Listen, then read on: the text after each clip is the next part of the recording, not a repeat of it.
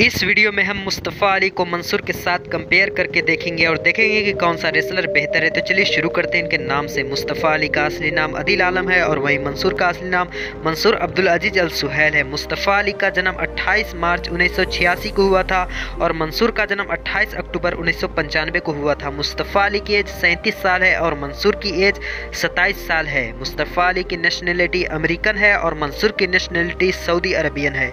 तो चलिए बात करते हैं इनके रेसलिंग रेसलिंग करियर के बारे में।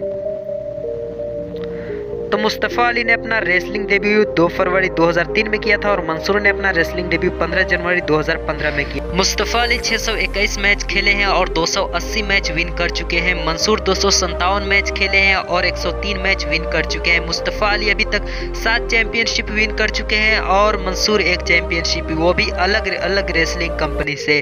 तो चलिए बात करते हैं इनके network income house Mustafa Ali की नेटवर्क 2 मिलियन यूएस डॉलर और मंसूर की नेटवर्क 1.5 मिलियन यूएस डॉलर है। मुस्तफ़ा अली की W W salary 2 lakh US dollar है और मंसूर की W salary 3 lakh US dollar है।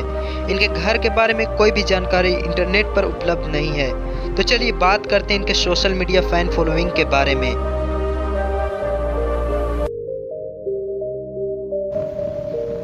तो मुस्तफ़ा अली के ट्विटर अकाउंट पर तीन लाख इकसठ हज़ार फॉलोअर हैं और मंसूर के ट्विटर अकाउंट पर इकतालीस हज़ार फॉलोअर है।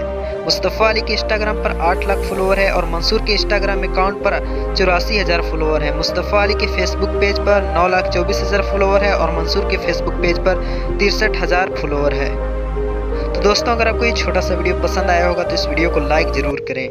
आपको कौन सा रेसलर पसंद है, ये भी कमेंट में ज़रूर बताएँ।